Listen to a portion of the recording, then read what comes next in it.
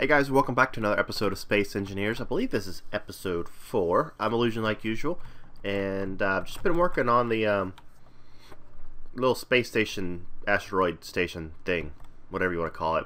Made some changes this last episode in, in my true fashion.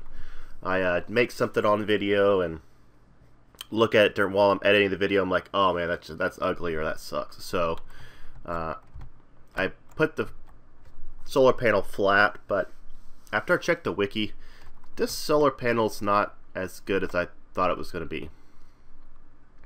I think it was like you're going to have to need 300 solar panels just to run a refinery. So, yeah, that's a lot. Uh, I had a little accident with the mining ship, and uh, that prompted me to do a little bit of a rework. It's now got five drill bits instead of three. But I've done a fair amount of mining um, since the last episode to kind of prep for getting the station, the station done a little bit better. Go ahead. Uh, let me kind of see what I have going on down here in the assembler. But I've done a fair amount. And I've done a fair amount of crafting as well. But anyway, so that's the catch up. And then I also put a beacon up there a while because when I was mining on that place over there, I kept getting lost and couldn't find my way back. So, yeah. Alright, so here we go. So we're going to get this space station up and running. That's the plan at least. So I want to get a small reactor installed. So let's get small reactor components. Oh, nice. Um, so, computers, computers, motors. Let's, see, let's empty this plate thing off first. Motors, computers.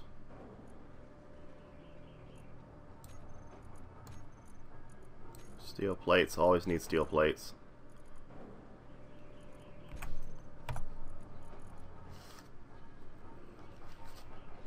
Large.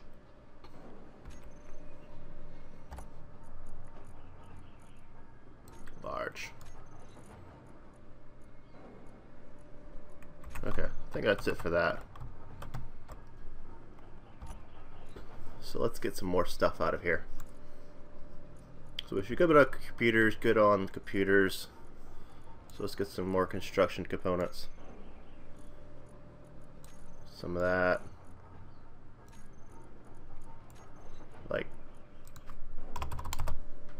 20. Um,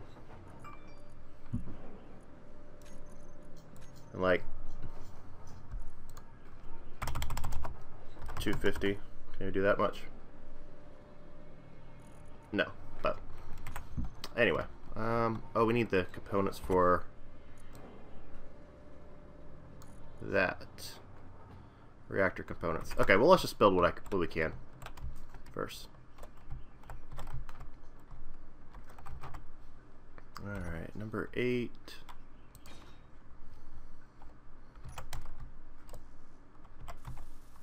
We'll have to go back and get more stuff. Oh, no, no, no, no, no, no, no. That's gravity generator.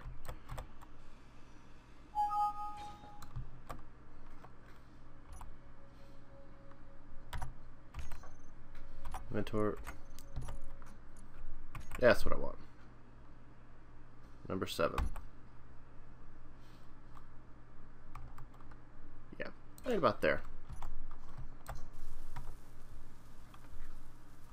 So I'll have to go back to the reactor components. That's no big deal. So we can start getting some power going in this place.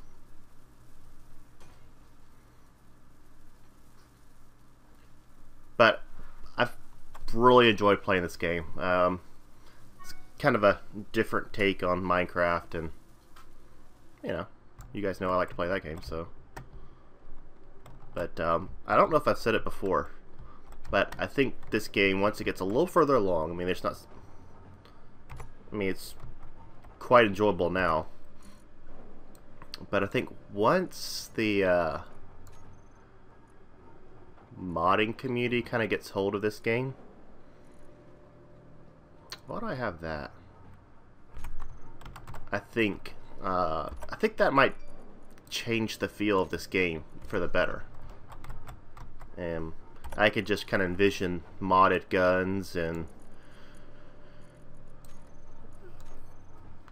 different parts. Like I watched the little spotlight on how they just added wheels to this game. So now you're talking about like ground-based transport instead of um, space. So it'd be kind of cool.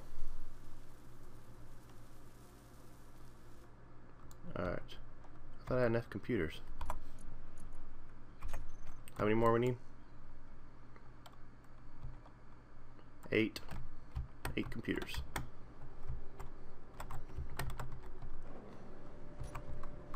And after we get some of this stuff moved over, I'm going to kind of take apart this ship a little bit.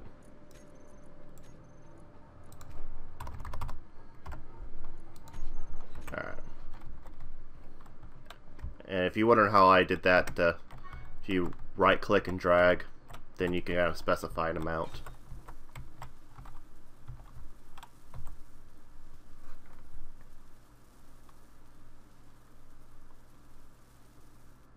Okay. So we have our reactor put in. So now, let's get rid of that out of the hotbar so I don't get it confused. And how much is a gravity generator going to be?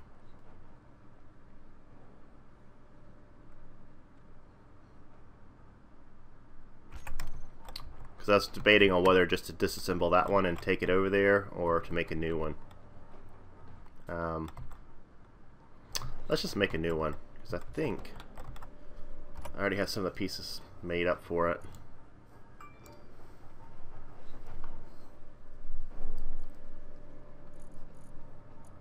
Maybe. Yeah, I do. And I got a pretty cool design for the refinery setup. So, where am I? There we are.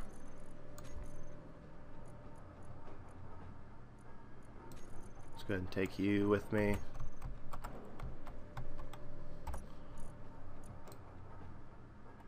Alright, so let's see what else we need. Computers 40. Doubt we have computers, that many computers on us. 40. And it would be nice just to add all that stuff to my inventory at one time, but uh, I don't have that much storage space. Steel plates, gravity, construction components. Got that. Large steel 2, 4, motor 6, computer 40. Motors, we need large, yeah, okay. So just need a handful of more motors. Which we have already made. Okay.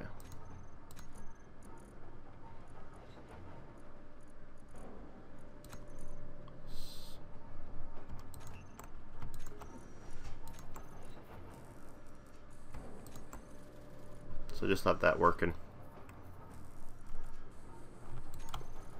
Since we'll need it shortly. Okay. Um, steel plates.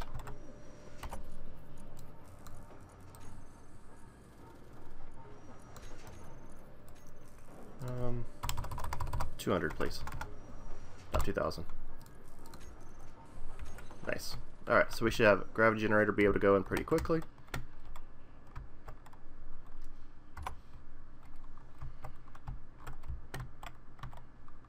And let me rotate you. Yeah, just like that. Okay, good. Got everything on us. So, our space station's going to come along pretty good this episode.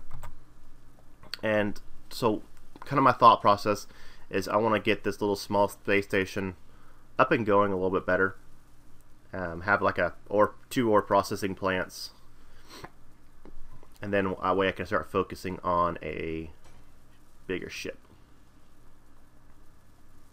And then I'll move all the systems into a huge ship, which I started designing in my head, and if it goes like I want it to, it should be pretty epic. I'm getting ready to run out of life. Hurry, hurry, hurry. Okay, cool. Fly.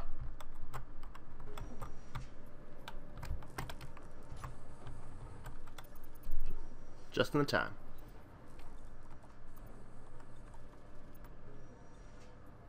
So we'll charge this up, we'll take a piece of uranium over there and uh, get some gravity going.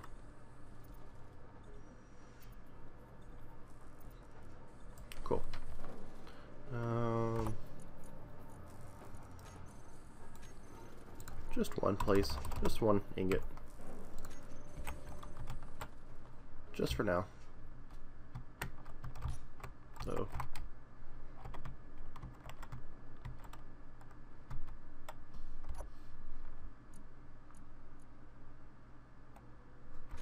Okay.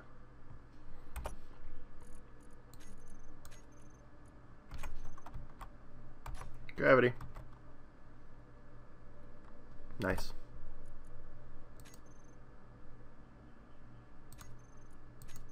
Cool. So now we can work a little bit better around here. So the next thing I got going up is a refinery. Let's see. Probably don't have near this stuff for it have to have lots of steel plates. So near a thousand steel plates.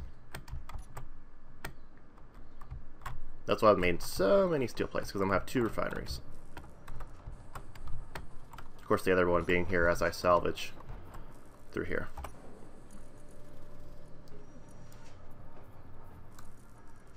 Alright. So I need a 1,004. About 104.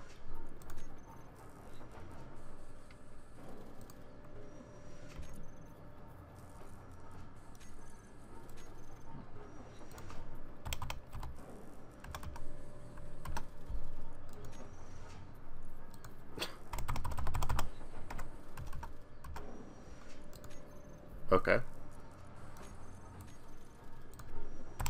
Four. Thank you. That seemed a little more difficult than it needed to be.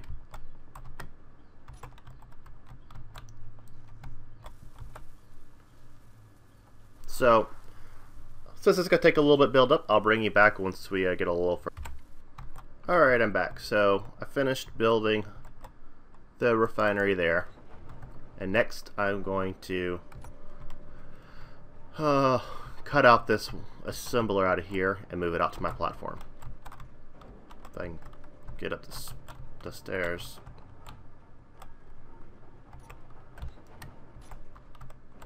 Okay.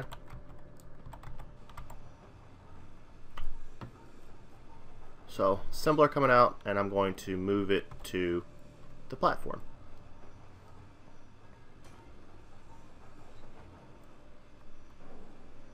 And I cleared all the inventory space of the assembler, put it in the chest next door, and uh, should be able to have this go up pretty quickly.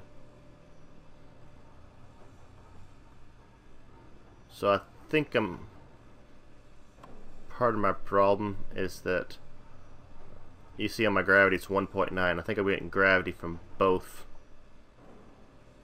both places. Okay, cool. So let's turn you you're to turn down. It's the other one's the problem.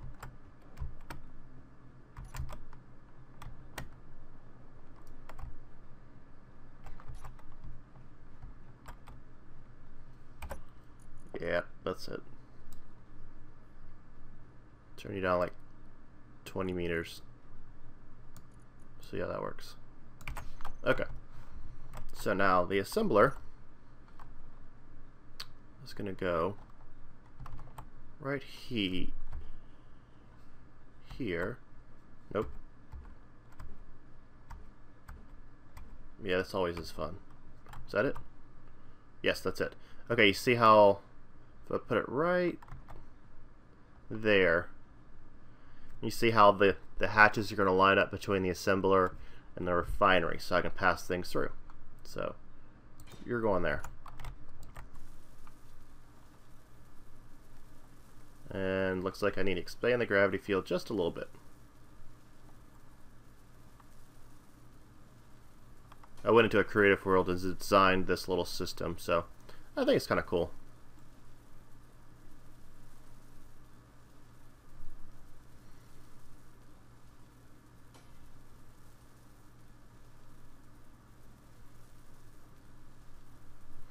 Just takes a while to cut down.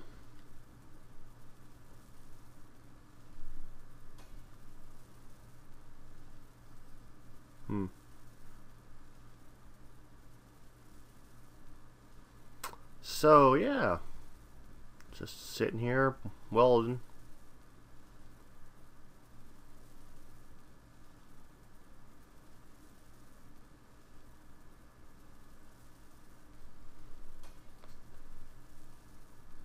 So after I get done with this assembler, I'm going to put another refinery on the right side of it. So I'm going to have two a two refinery system, like I've said before. Yeah, I know the light support is getting low. If you'd well just a little faster. Okay, cool deal. Go get a charge up.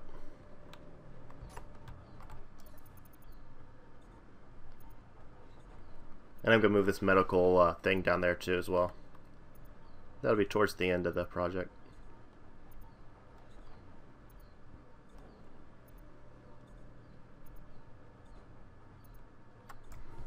Okay. So let's stop this process. Oh, matter storage room.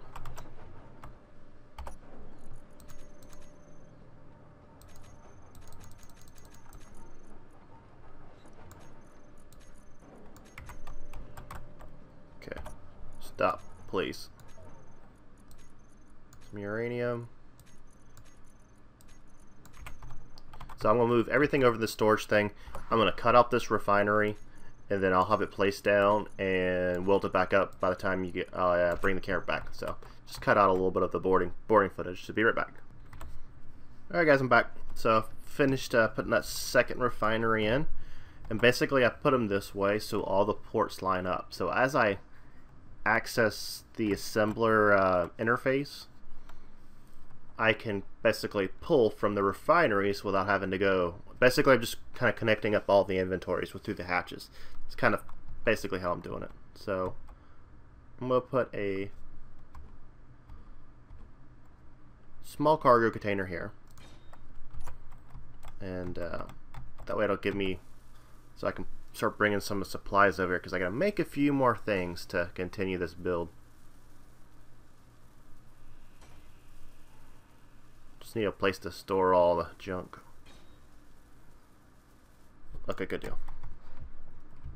So let's go get a charge up.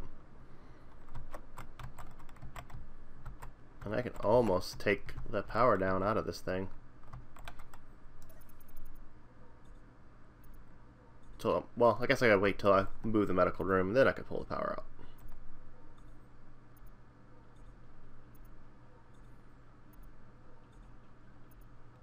So the next part of this build, I'm going to use something that was just added in the, one of the most recent uh, updates, the patches, and that's the conveyors. These right here, conveyor and conveyor tubes. So it's going to be pretty cool. So let me move some inventory over and do just a little bit of prep work, and then I'll bring you back for the setup. Hey guys, back.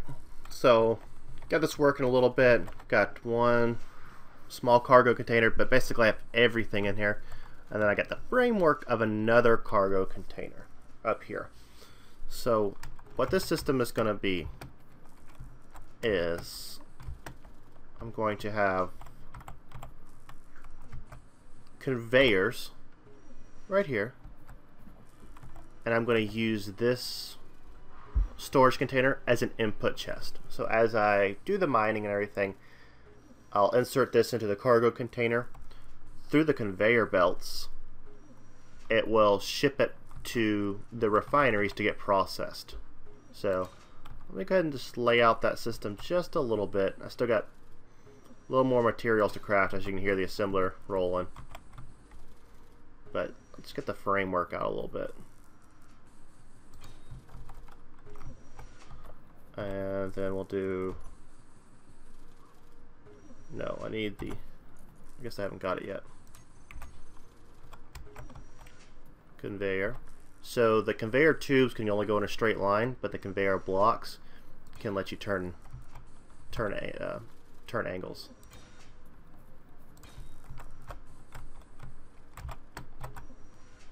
You go here. Six. And then you go here. So basically, if I clear this off, so you can see chest things go into the input chest, come down the conveyor belts, comes here, goes down these two conveyor blocks, and will be sent to both refineries. Now, when I was testing this design in Creative, um, I found that it likes to send this send it to the left refinery first before sending over here. So basically, it won't do like a round robin um, type of thing. But I think that'll be okay because either I can just either split it manually, or if I put enough materials to where it fills up the buffer on this, then it'll bounce back and take the next available inventory, which will be here. So, well, I guess that's going to be a problem. We'll have to wait to see if it is actually a problem.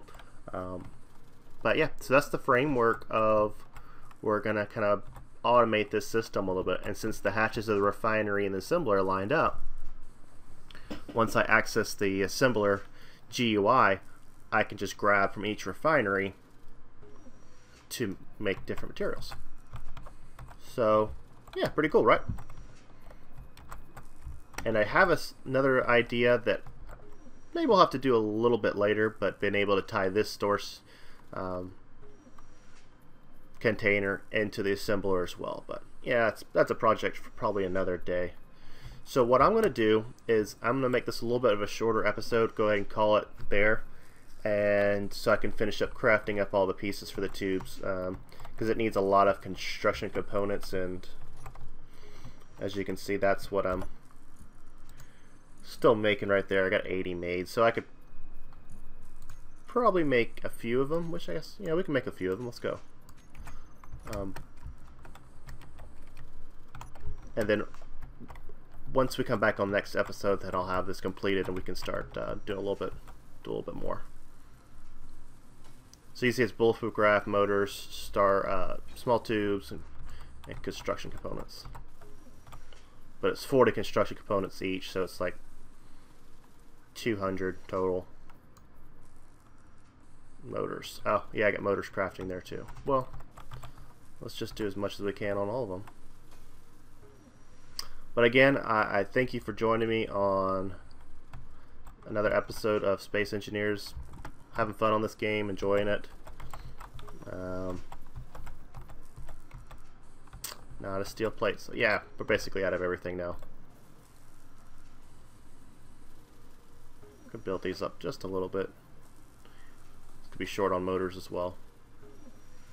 So yeah, between the episodes, it'll give me a chance to kind of let the assembler catch up with what I have, uh, what I need being made, and. Uh, we'll go from there. So, see you guys on the next one. Uh, if you enjoyed this video, go ahead and like it or thumb it up. Subscribe if you haven't already so you can see some more of all my uh, my videos. And I'll see you guys on the next one.